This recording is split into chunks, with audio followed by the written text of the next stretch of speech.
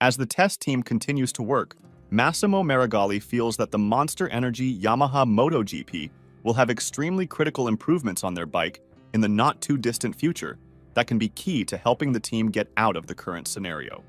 Yamaha has been informed that the creation of a V4 engine will expedite their advancement and ideally let them to remain in MotoGP for an extended period of time. The Japanese company, a longtime dominant force in MotoGP, has seen a sharp downturn.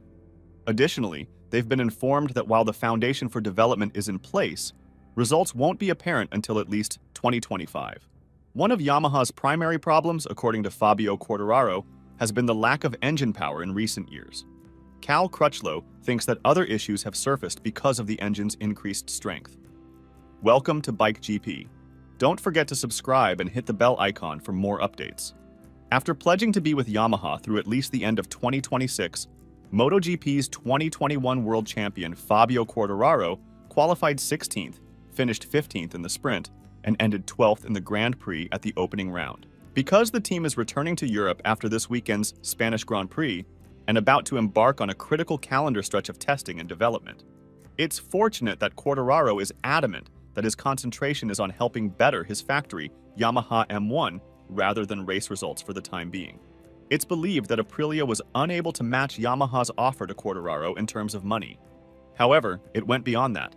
Beyond his own pay, Yamaha has planned to invest in its program, which excited Quartararo even more. Although the Grand Prix of the Americas once again highlighted how much work remains. In spite of this background, Quartararo was genuinely rather positive when he clarified that Yamaha's attention for the upcoming weeks will be on the data collected rather than where the M1s finish.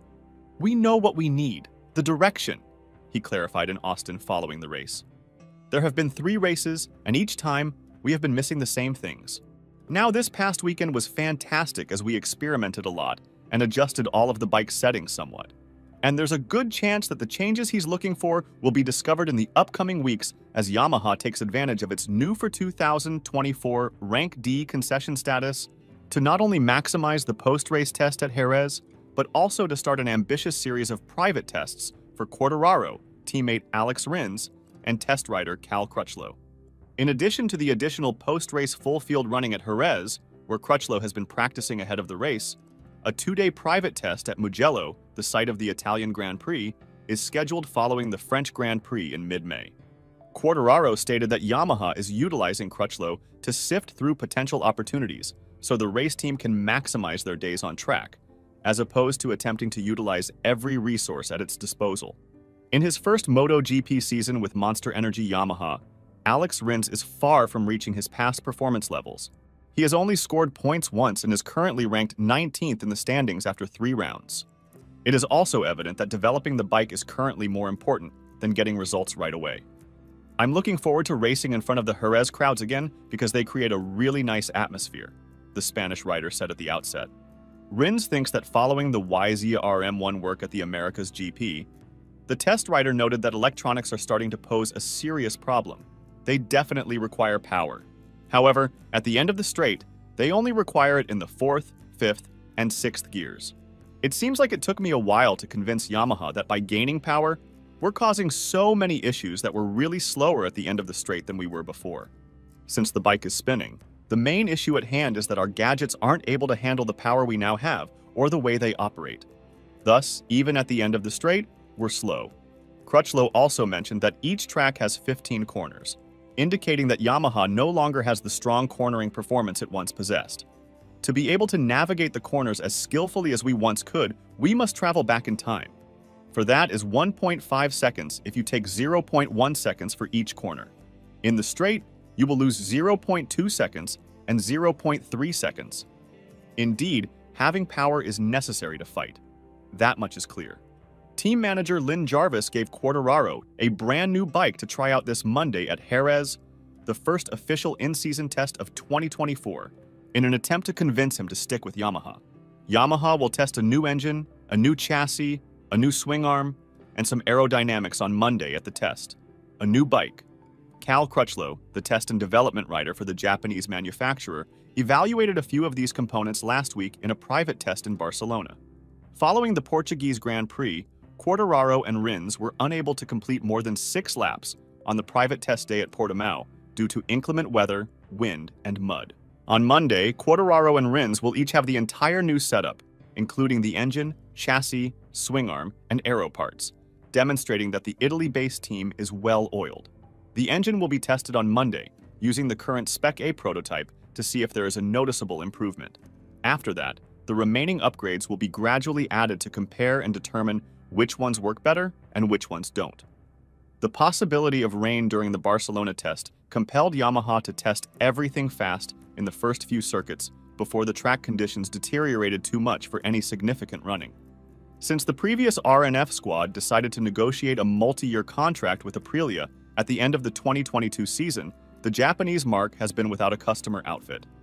Strong satellite structures have grown in significance in recent years as a crucial component of a MotoGP manufacturer's performance, primarily driven by Ducati.